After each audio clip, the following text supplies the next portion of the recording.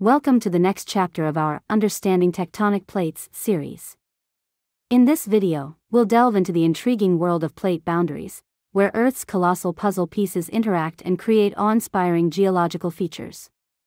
Let's begin with divergent plate boundaries, represented in green on the map.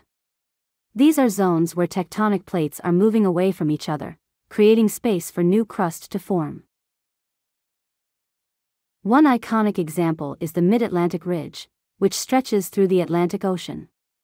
Along this ridge, molten rock rises from the mantle, solidifies, and gradually pushes the continents apart.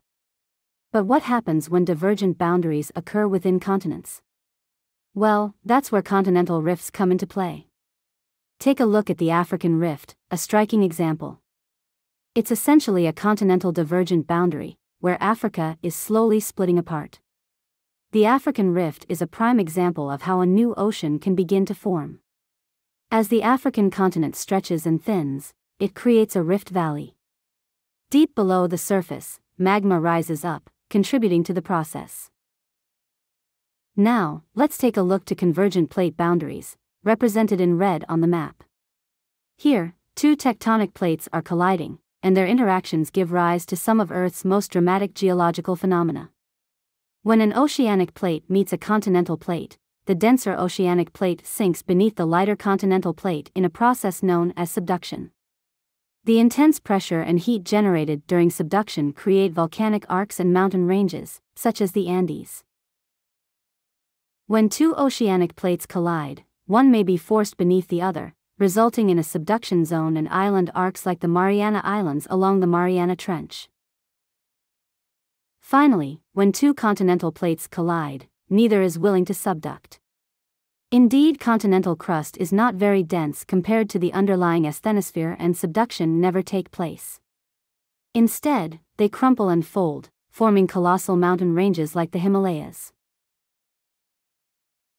Now, let's explore transform plate boundaries.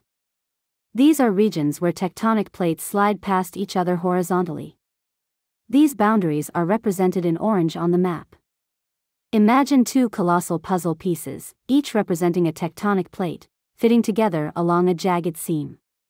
These puzzle pieces are not static, however. They are in constant motion, but with a drawback.